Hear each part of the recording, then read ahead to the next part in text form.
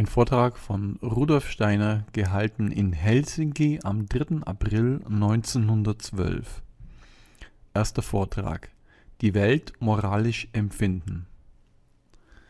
Meine lieben Freunde, von unseren Freunden ist, als sie mich hierher riefen, von mir gefordert worden, dass ich über das sprechen soll, was wir als geistige Wesenheiten in den Naturreichen und in den Himmelskörpern finden. Wir werden damit, meine lieben Freunde, ein Gebiet berühren, das zunächst weit, weit von all dem abliegt, was heute das Wissen, was gegenwärtig das Wissen draußen in der übrigen Welt dem Menschen gibt. Wir werden gleich von Anfang an ein Gebiet zu berühren haben, dessen Realität gegenwärtig von der äußeren Welt abgeleugnet wird. Voraussetzen möchte ich nur das eine dass sie aus ihren bisherigen geisteswissenschaftlichen Studien mir ein Gefühl und Empfindungsverständnis für die geistige Welt entgegenbringen. In Bezug auf die Art und Weise, wie wir die Dinge benennen werden, werden wir uns im Laufe der Vorträge schon verständigen.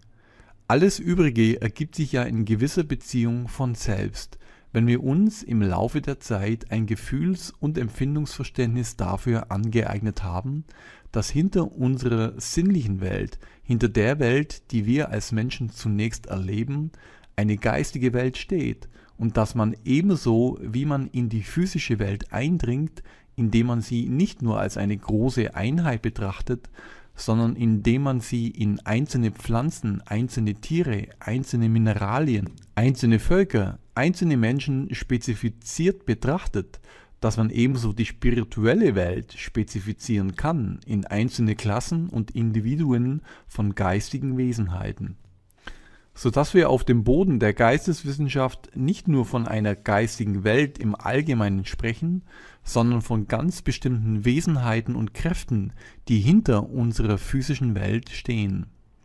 Was rechnen wir denn alles zur physischen Welt?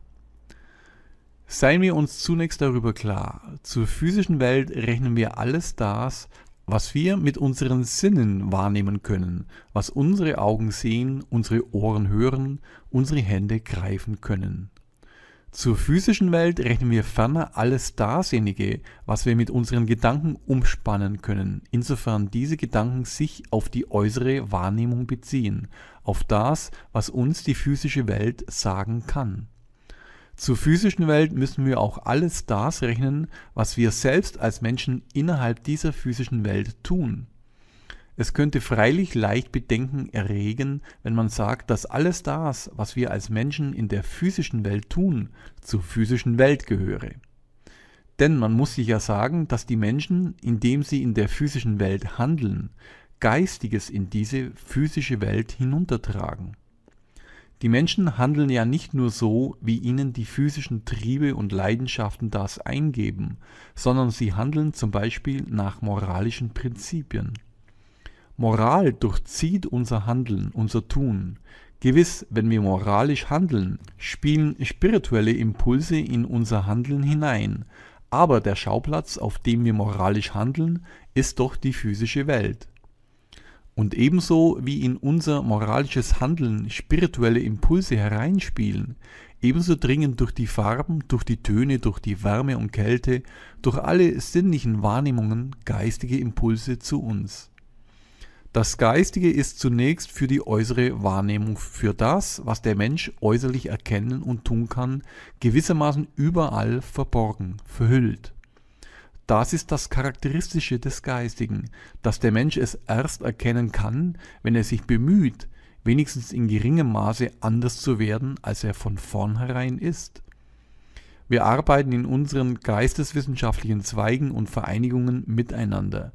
Ja, wir hören da nicht nur diese oder jene Wahrheiten, die uns etwas sagen, es gibt verschiedene Welten. Der Mensch besteht aus verschiedenen Gliedern oder Leibern oder wie man es nennen will, sondern indem wir das alles auf uns wirken lassen, wird nach und nach, auch wenn wir es nicht immer bemerken, auch ohne dass wir eine esoterische Entwicklung durchmachen, unsere Seele zu etwas anderem.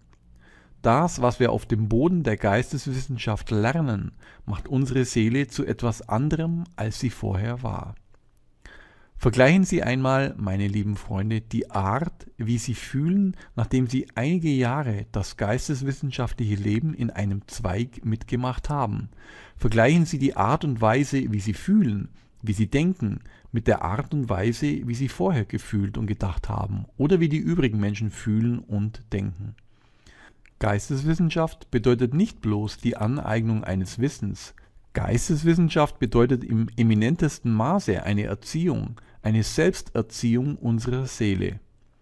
Wir machen uns zu etwas anderem, die Interessen werden andere, die Aufmerksamkeit, die der Mensch nach einigen Jahren für das oder jenes entwickelt, wenn er Geisteswissenschaftler geworden ist, wird anders. Was ihn früher interessiert hat, interessiert ihn nicht mehr. Was ihn früher nicht interessiert hat, beginnt ihm im höchsten Maße zu interessieren. Man darf nicht sagen, derjenige erst erhält ein Verhältnis zur geistigen Welt, welche eine esoterische Entwicklung durchgemacht hat. Die Esoterik beginnt nicht erst mit der okkulten Entwicklung. In dem Augenblick, wo wir uns mit irgendeiner geisteswissenschaftlichen Vereinigung verbinden und mit unserem ganzen Herzen dabei sind und fühlen, was in den geisteswissenschaftlichen Lehren liegt, da beginnt schon die Esoterik, da beginnt schon unsere Seele sich umzuwandeln, da beginnt schon mit uns etwas Ähnliches, wie etwa mit einem Wesen vorgehen würde, das vorher nur hell und dunkel gesehen hätte und das dann durch eine andere Organisation der Augen anfangen würde, Farben zu sehen. Die ganze Welt würde anders aussehen für ein solches Wesen.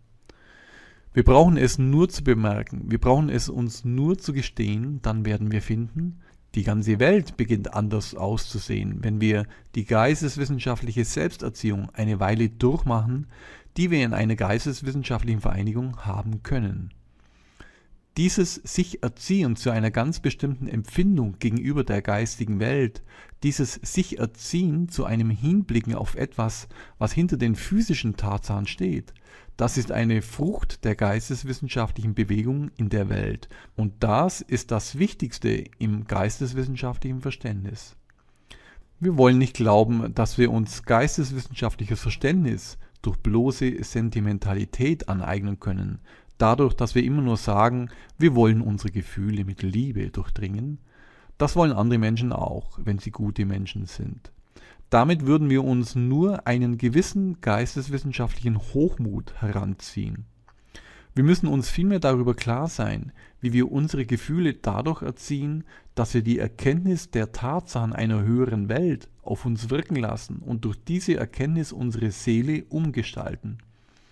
Diese besondere Art und Weise, unsere Seele zu einer Empfindung gegenüber einer höheren Welt zu erziehen, diese Art und Weise macht den Geisteswissenschaftler aus. Dieses Verständnis brauchen wir zunächst, wenn wir über die Dinge reden wollen, von denen in diesen Vorträgen gesprochen werden soll. Derjenige, der mit einem okkult geschulten Blick hinter die physischen Tatsachen zu schauen vermag, der findet hinter all dem, was sich als Farben, als Töne, als Wärme, als Kälte, was sich an Naturkräften ausbreitet, hinter all dem findet er sogleich Wesenheiten, die sich nicht für die äußeren Sinne und für den äußeren Verstand offenbaren, die hinter der physischen Welt liegen. Dann dringt er immer tiefer und tiefer und er entdeckt sozusagen Welten mit Wesenheiten von immer höherer Gattung. Wenn wir uns ein Verständnis für all das aneignen wollen, das dahinter unserer Sinnenwelt liegt, dann müssen wir gemäß dieser besonderen Aufgabe, die mir hier gestellt worden ist, von dem Allernächsten ausgehen, was wir hinter unserer sinnlichen Welt antreffen, von dem, was wir antreffen, wenn wir nur den allerersten Schleier heben, den die sinnliche Wahrnehmung über das geistige Geschehen ausbreitet. Im Grunde genommen überrascht eigentlich die Welt, die sich dem okkult geschulten Blick als die nächste darstellt, den heutigen Verstand, die gegenwärtige Auffassungsgabe am allermeisten. Nun, ich spreche ja, meine lieben Freunde, zu solchen, welche schon Geisteswissenschaftliches in sich aufgenommen haben.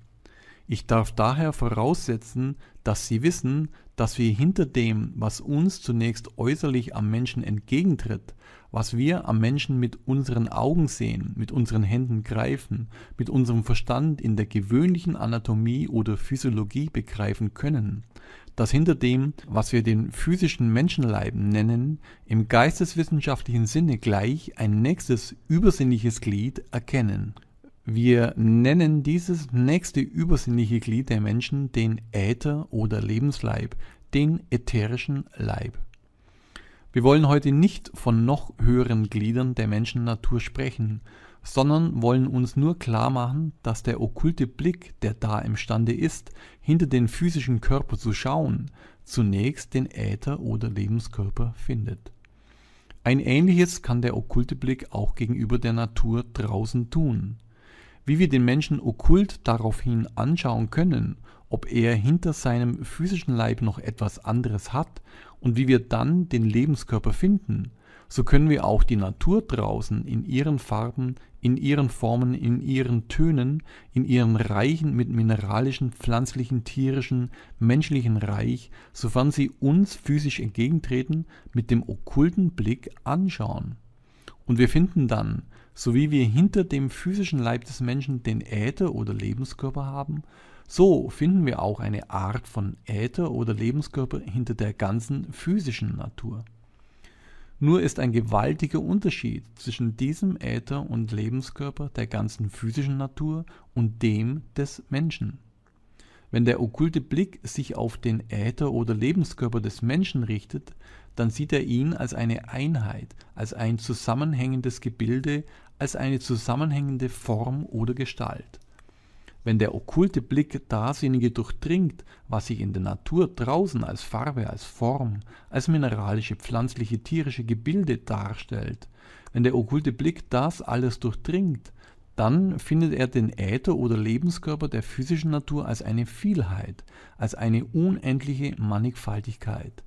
Das ist der große Unterschied. Der Ätherkörper ist ein einziges, einheitliches Wesen als Äther oder Lebenskörper beim Menschen bei den Pflanzen viele verschiedene differenzierte Wesen hinter der physischen Natur. Nun muss ich Ihnen den Weg zeigen, meine lieben Freunde, durch den man zu einer solchen Behauptung, wie sie eben getan worden ist, kommen kann. Zu der Behauptung, dass sich ein Äther oder Lebensleib, eigentlich eine Äther oder Lebenswelt, eine Vielheit, eine Mannigfaltigkeit differenzierter Wesen hinter unserer physischen Natur findet. Wenn ich sagen will, wie man dazu kommen kann, dann kann ich das in die einfachen Worte kleiden. Man gelangt dadurch immer mehr zu der Anerkennung dieser Äther- oder Lebenswelt hinter der physischen Natur, dass man beginnt, die ganze Welt, die um einen herum ist, moralisch zu empfinden. Was heißt das, die Welt moralisch empfinden? Wir richten, meine lieben Freunde, zunächst einmal unseren Blick von der Erde aufschauend in die Weiten des Weltenraums, aus denen uns das Blaue des Himmels entgegenkommt. Wir nehmen an, wir tun das an einem Tag, an dem kein Wölkchen, nicht das leiseste weiße Silberwölkchen die Himmelsbläue unterbricht. Wir nehmen an, wir blicken überall hin in das sich über uns ausspannende Blau des Himmels, ob wir das im physischen Sinne als etwas Reales anerkennen oder nicht, darauf kommt es nicht an. Auf den Eindruck kommt es zunächst an, den dieses sich ausspannende Blau des Himmels auf uns macht. Nehmen wir an, wir können dieses sich hingeben an das Blaue des Himmels intensiv, lange, lange machen. Wir können es so machen, dass wir alles dasjenige vergessen, was uns sonst aus dem Leben bekannt ist oder was sonst im Leben um uns herum ist. Nehmen wir an, wir können alle äußeren Eindrücke, alle Erinnerungen, alle Sorgen, alle Bekümmernisse des Lebens für einen Augenblick vergessen und dem einzigen Eindruck des blauen Himmels ganz hingegeben sein. Ja, sehen Sie, meine lieben Freunde, das, was ich Ihnen jetzt sage, kann jede menschliche Seele erfahren, wenn sie nur die entsprechenden Veranstaltungen unternimmt. Eine allgemein menschliche Erfahrung kann das werden, was ich Ihnen jetzt sage. Nehmen Sie an, eine menschliche Seele blickt so auf nichts als auf das Blau des Himmels schauend. Dann tritt ein gewisser Moment ein, ein Moment, wo das Blau des Himmels aufhört, wo wir nicht mehr blau sehen, nicht mehr etwas sehen, was wir in irgendeiner menschlichen Sprache mit blau bezeichnen. Wenn wir uns aber in dem Moment auf unsere eigene Seele besinnen, wo das Blau aufhört, für uns blau zu sein, dann werden wir in unserer Seele eine ganz bestimmte Stimmung bemerken. Das Blau verschwindet, eine Unendlichkeit tut sich vor uns auf, und in diese Unendlichkeit hinein will sich eine ganz bestimmte Stimmung unserer Seele ergießen, ein ganz bestimmtes Gefühl, eine ganz bestimmte Empfindung unserer Seele, in die Leerheit hinein, die da entsteht, wo vorher blau war. Und wollen wir diese Seelenempfindung, wollen wir das, was da in alle unendlichen Fernen hinaus will, wollen wir das benennen, dann haben wir dafür nur ein Wort. Fromm fühlt unsere Seele. Fromm gegenüber einer Unendlichkeit, hingegeben fromm. Alle religiösen Gefühle der Menschheitsentwicklung haben im Grunde genommen eine Nuance, welche das in sich schließt, was ich hier jetzt fromm nenne. Moralisch ist der Eindruck des blauen Himmelsgewölbes geworden. Eine moralische Empfindung hat das Blau, das weithin sich dehnt, in unserer Seele hervorgerufen. Indem es als Blau verschwunden ist, lebt in unserer Seele eine moralische Empfindung gegenüber der äußeren Welt auf. Und jetzt wollen wir uns auf eine andere Empfindung besinnen, wo wir uns wieder in anderer Weise moralisch stimmen können gegenüber der äußeren Natur. Wir wollen hinblicken, wenn die Bäume ausschlagen und die Wiesen sich mit Grün füllen. Wir wollen unseren Blick auf das Grün richten, das in der mannigfaltigsten Weise die Erde bedecken oder aus den Bäumen uns entgegentreten kann. Und wir wollen es wieder so machen, dass wir alles vergessen, was an äußeren Eindrücken auf unsere Seele wirken kann, und uns lediglich dem hingeben, was da als das Grün in der äußeren Natur vor uns hintritt. Wenn wir wieder imstande sind, uns dem, was real als das Grüne aufschießt, hinzugeben, so können wir dies wieder so weit treiben, dass das Grüne als Grünes für uns verschwindet, wie früher das Blaue als Blaues verschwunden ist.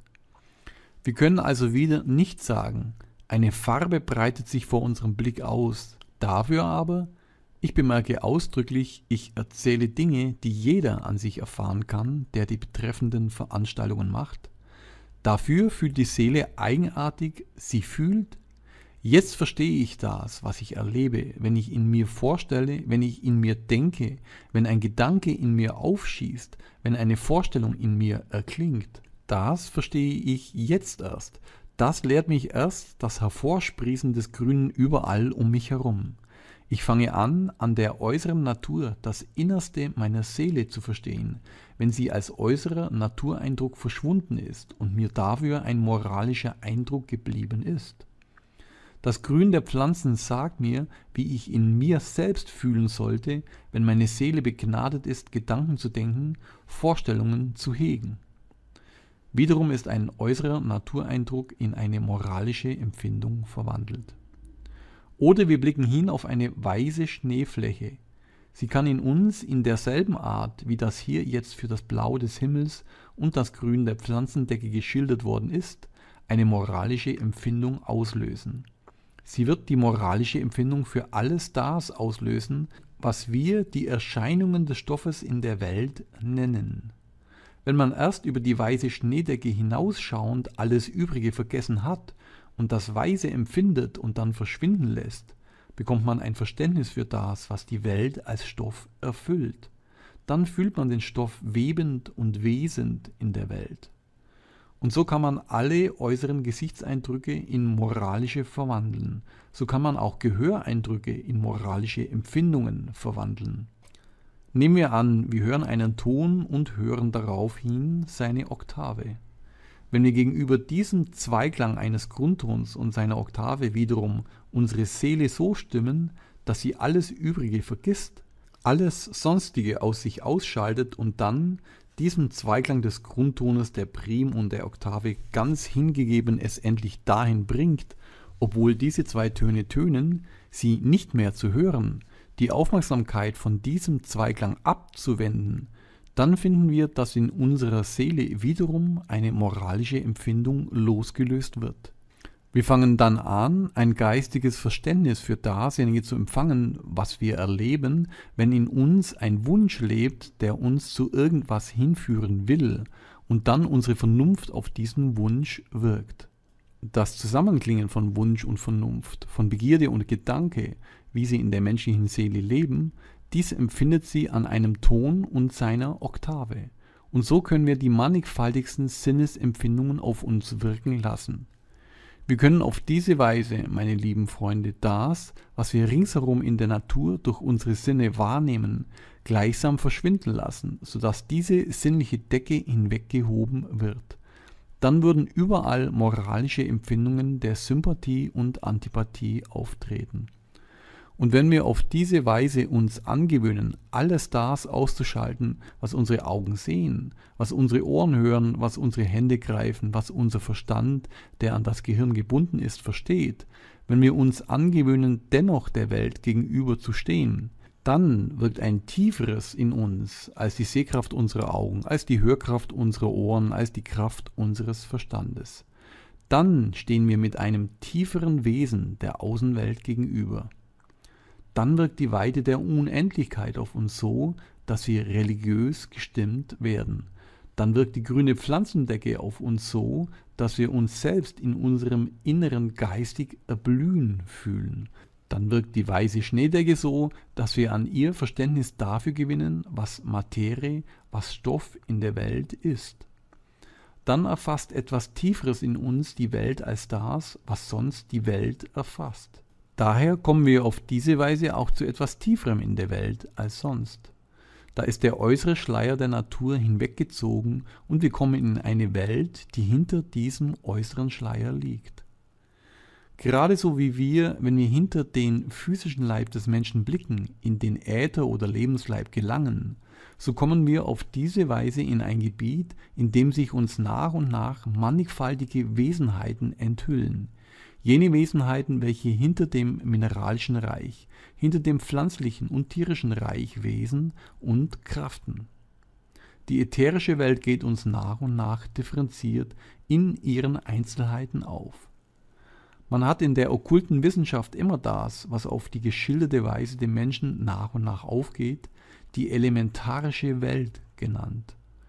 Und diejenigen geistigen Wesenheiten, zu denen wir kommen, wenn der Weg beschritten wird, von dem wir gesprochen haben, diese geistigen Wesenheiten sind die elementarischen Geister, die hinter allem physisch-sinnlichen verborgen blieben.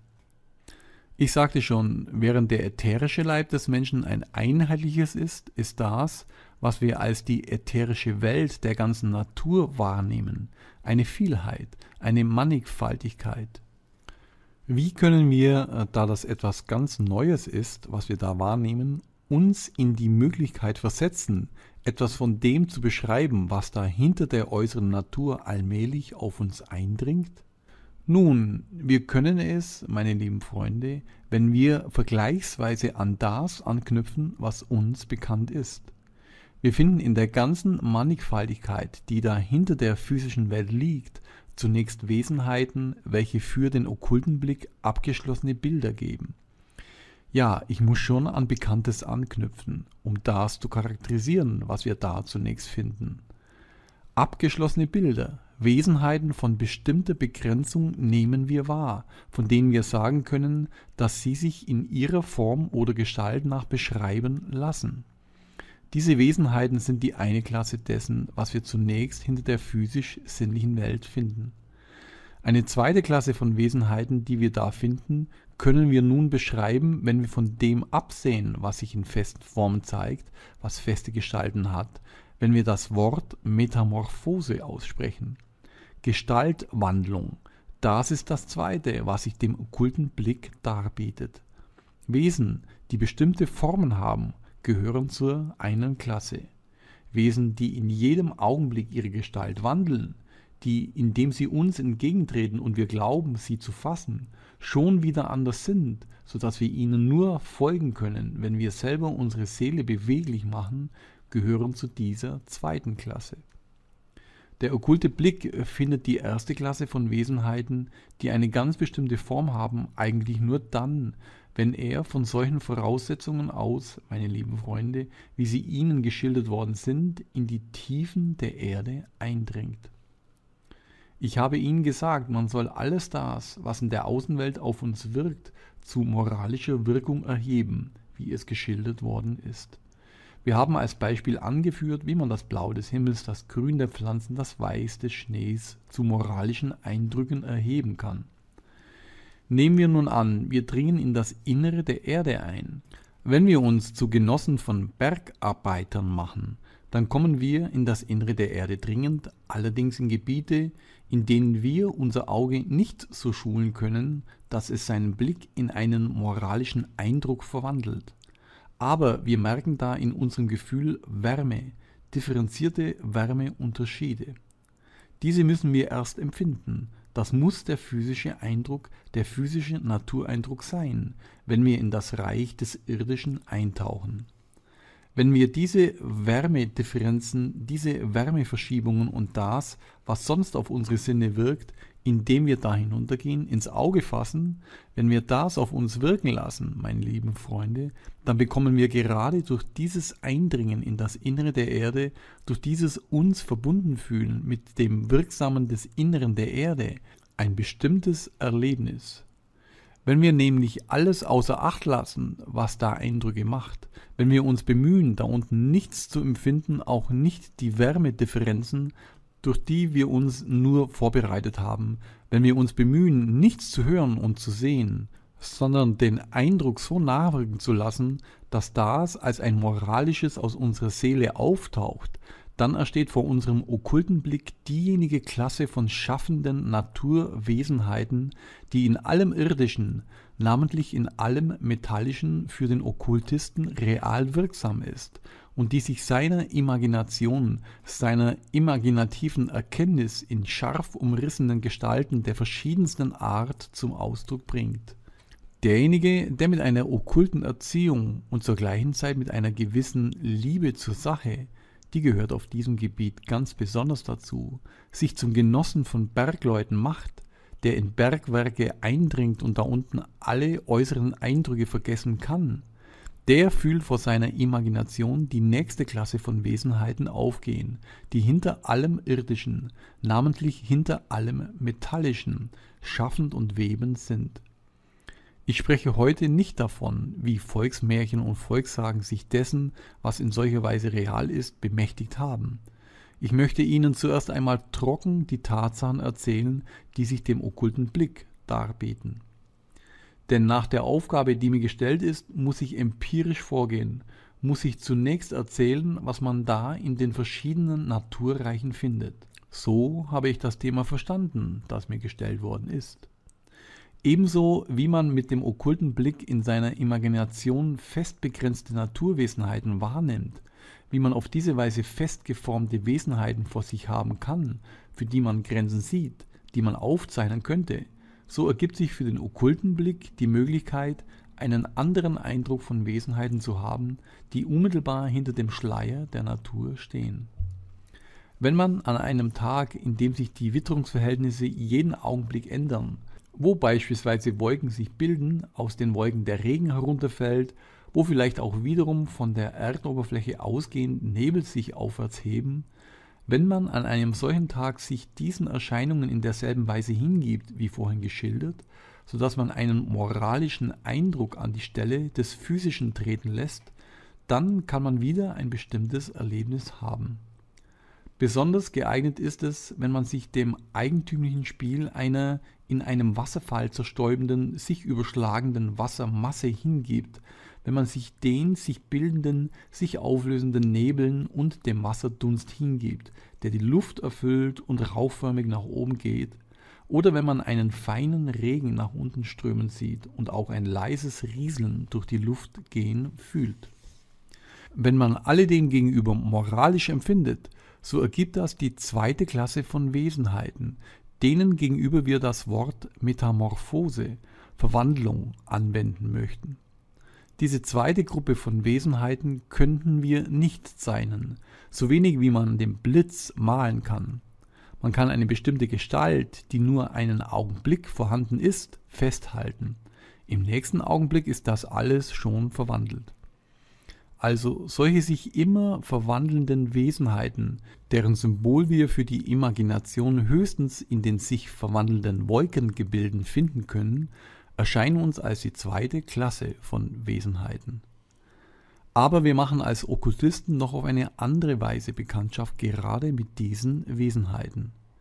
Wenn wir Pflanzen betrachten, wie sie zur Frühlingszeit aus der Erde herauskommen, wenn sie die ersten grünen Sprossen heraustreiben, nicht später, wenn sie schon anschicken, Früchte zu tragen, dann fühlt der okkulte Blick, dass dieselben Wesenheiten, die er in den sich pulverisierenden und sich wiederum überschlagenden und in sich sammelnden Nebeln entdeckt hat, die knospenden Wesen der Pflanzen umspülen, so dass wir sagen können, wenn wir hier auf der Erde die Pflanze heraussprossen sehen, sehen wir sie überall von solchen sich metamorphosierenden Wesenheiten umspült.